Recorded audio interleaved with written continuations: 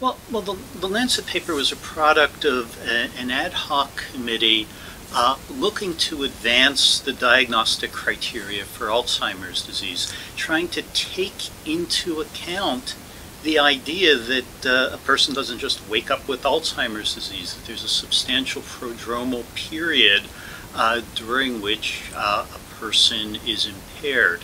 Uh, currently, the diagnosis of Alzheimer's disease rests on having the dementia, the dementia being cognitive impairment plus impaired activities of daily living.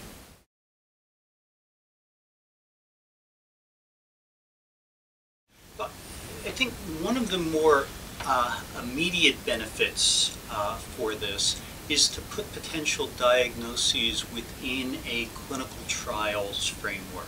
Uh, there is a need to, uh, for us to be able to assess therapeutics earlier before the onset of dementia and in fact uh, uh, before the onset of, uh, of mild cognitive impairment due to Alzheimer's disease. So here, within the clinical trials framework, the combination of a typical memory impairment associated with very early Alzheimer's disease, such as episodic memory, with a memory impairment, with a biomarker helps to both refine the sample and identify patients early on uh, who may be able to benefit from, uh, from a new treatment.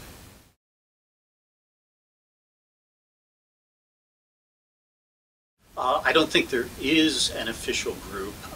Uh, this group is a, a, the group led by Bruno Dubois is a group that is uh, uh, that has met several times before to discuss diagnostic issues.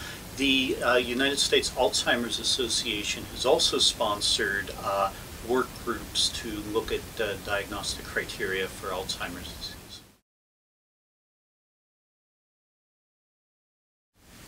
I, think there's several factors that uh, make this new.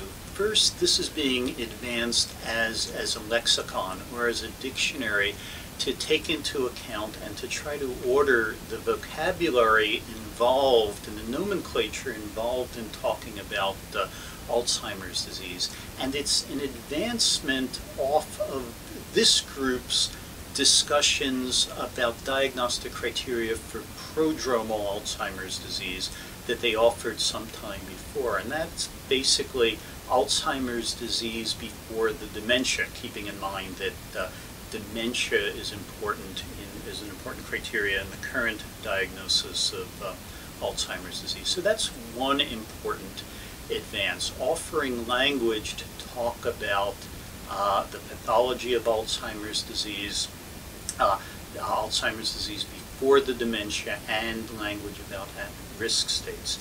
The, the second thing that's important is bringing biomarkers front and center. There's been uh, a tremendous amount of recent research on possible biomarkers uh, for Alzheimer's disease. These biomarkers are pathologic and neuropathologic correlates.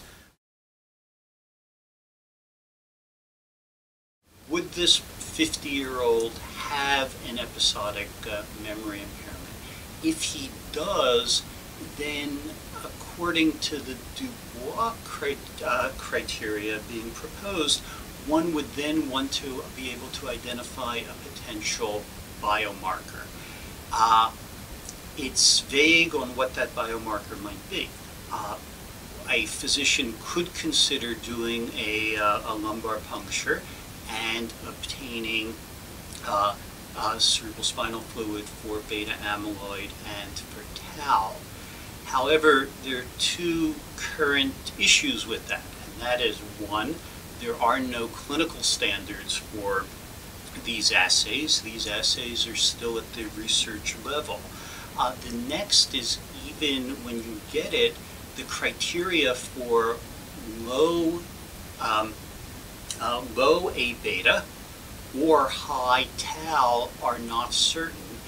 And finally, with a 50-year-old, we may or may not expect, and we don't have the knowledge to know whether to expect that A beta uh, would be uh, would be low.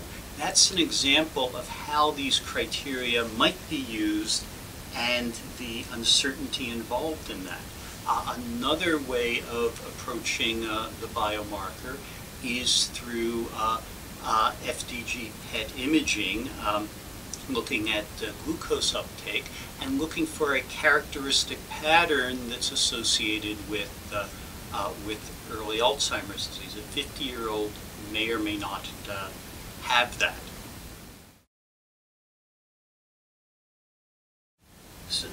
We know a little about this, and the criteria take into account two kinds of so-called preclinical conditions. One is an at-risk uh, condition where someone may be asymptomatic, not have a memory impairment or not have a cognitive impairment, but be biomarker positive.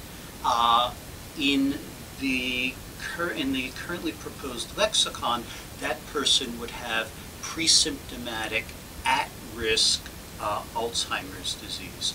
As you mentioned, the issue here uh, is twofold. One is that they may be at higher risk for Alzheimer's disease. The other is that they don't have Alzheimer's disease currently. And um, uh, I guess there's several other aspects to it as well, including the possibility that they may not develop Alzheimer's disease. So here, clearly a diagnosis of pre-symptomatic at-risk Alzheimer's disease could be detrimental in that you may be labeling somebody with an illness who will not get the, that illness. On the other hand, in early onset familial Alzheimer's disease caused by uh, autosomal, autosomal dominant uh, genes with 100% penetrance, for instance with the PSEN1 uh, gene, uh, you can talk about pre-symptomatic Alzheimer's disease that, uh, that will uh, evolve into cognitive impairment and Alzheimer's dementia in a few years. Uh, there, there's experience uh, amongst the families of, uh, of people uh, with that genetic uh, mutation. Okay. Um,